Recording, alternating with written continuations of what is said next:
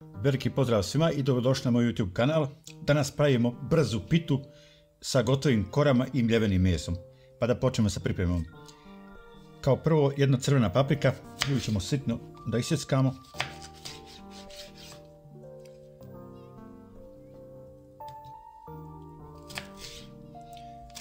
Na kockice.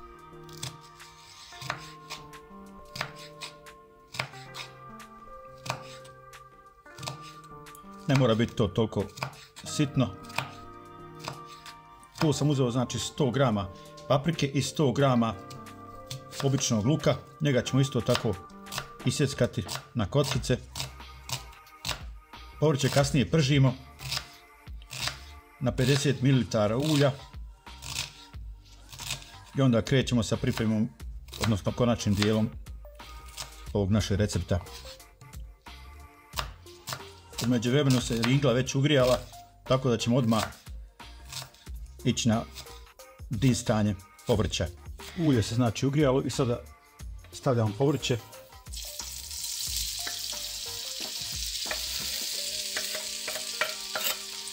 Lagano miješamo da se dobro i dinsta. Povrće se dinsta par minuta, 2-3 minute.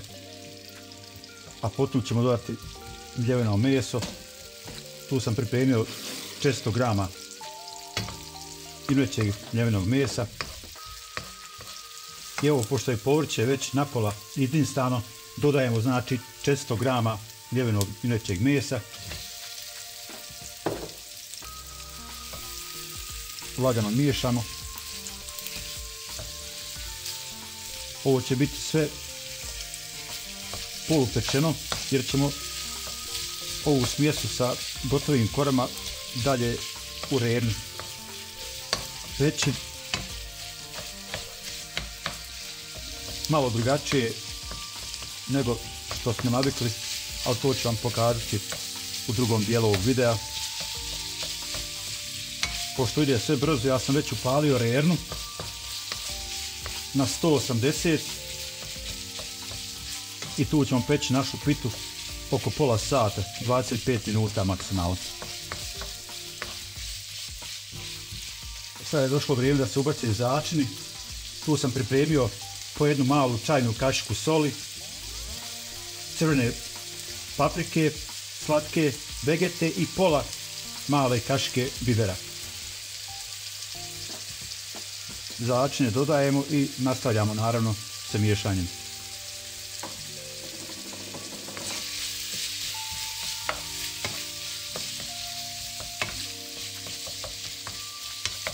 Zistamo otkriveno. Znači cilj nam je da što više tečnosti ispari. Evo još par minuta i gotovo. Ovu smjesu dinstamo ukupno 7-8 minuta, ništa više. Već je dobila željenu gustinu i boju više nego pola je pečeno. Gasimo ringlu. I krećemo u drugu fazu. I evo prije nego što počnemo ovu pitu da slažemo, da pripremimo zaljev, tu sam stavio 100 ml mlijeka, stavit ćemo 100 ml mineralne vode, stavit ćemo 200 ml čvrstog jogurta, To ćemo lagano da izmiješamo. Da se sastojci sjedine.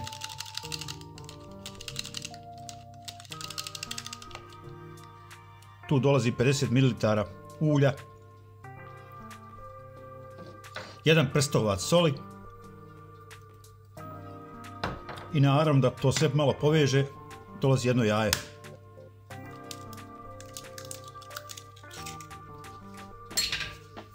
Sve miješamo.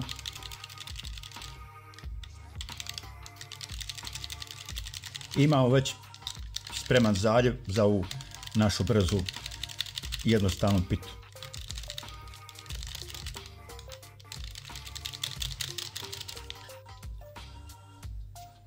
Ovo što sad želim da vam pokažem, to je Sljedeće.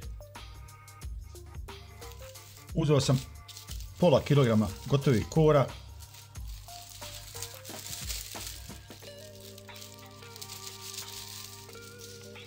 Ali ih nećemo slagati na onaj uobičajen način, nego ćemo ih sjeckati sitno. I to na male trakice. Evo ovako.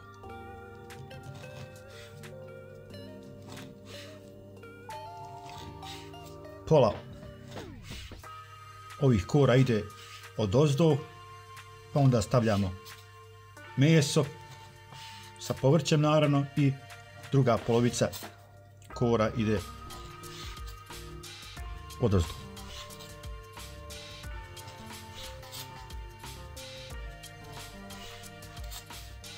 Ja mislim da je to otprilike. Hvala.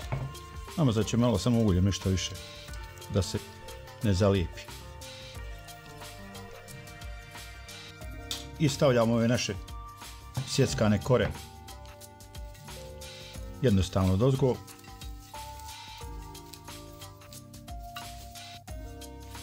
Fino i rastavite da bude sve da se lakše ispeče. Evo to je samo drolja.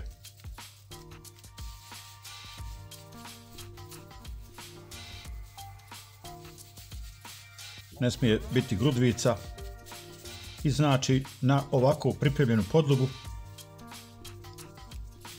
stavljamo polovicu našeg zaljeva.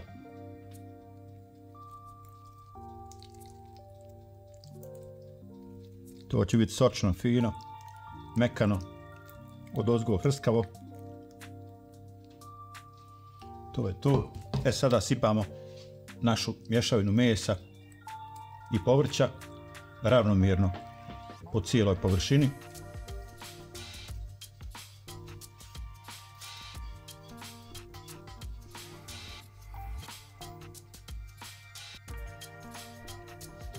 I naravno, to ćemo da rasporedimo fino.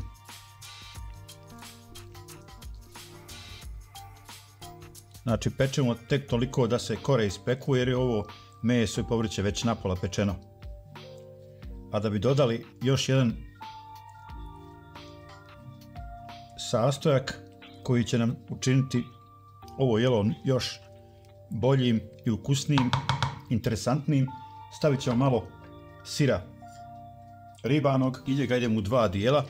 Znači na ovu smjesu stavljamo 50 grama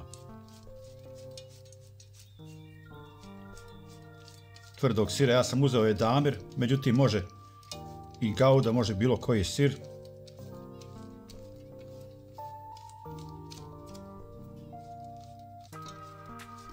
Evo to je to, znači sir isto fino rasporedimo.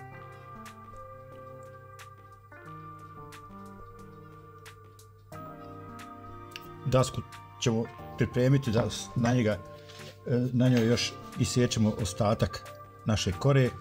Malo smo maknuli u našu posudu u stranu.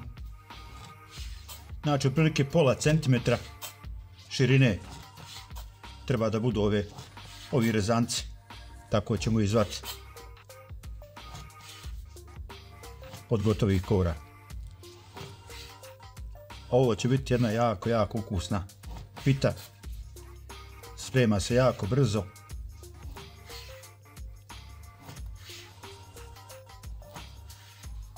jako izdašna i isplativa.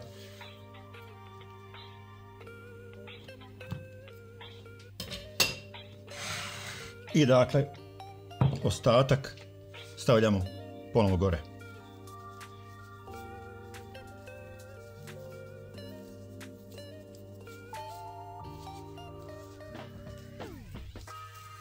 Dobro raširite da ne bude ovih takozvanih grudvica, da se lakše i brže ispeče.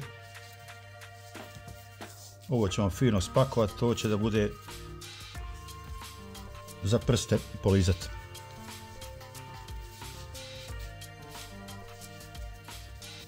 Da ne zaboravimo još pola onog našeg zaljeva.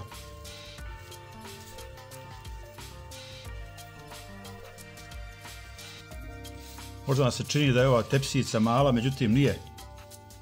To će se fino još sleći kad se doda još ovaj zaljev i kada se počne peći. Ovo je za četiri osobe. Jedan fin, ukusan i brz obrok. To smo fino posložili, poravnali, sad ubacujemo još ostatak ovog zaljeva da to bude sočno jer ove gotove kore zahtijevaju malo više zaljeva. Pitu nećemo dodatno zaljevati na kraju, nego ćemo jednostavno naribati još malo sira. Provjerio sam, rerna je već ugrijana na 180, znači peći ćemo 25 do 30 minuta. Otkriveno naravno.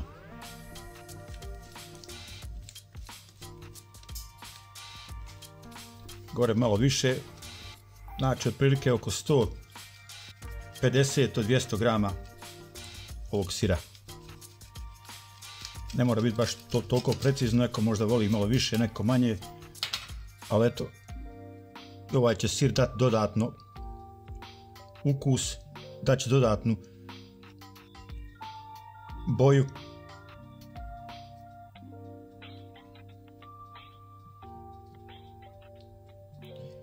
Pita je spremna, idemo na pečenje.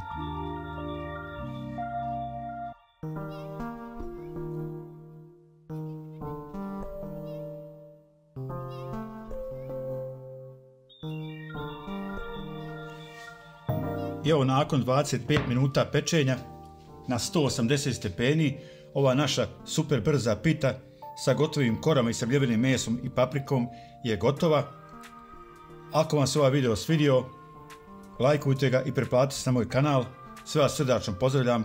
Do narednog videa.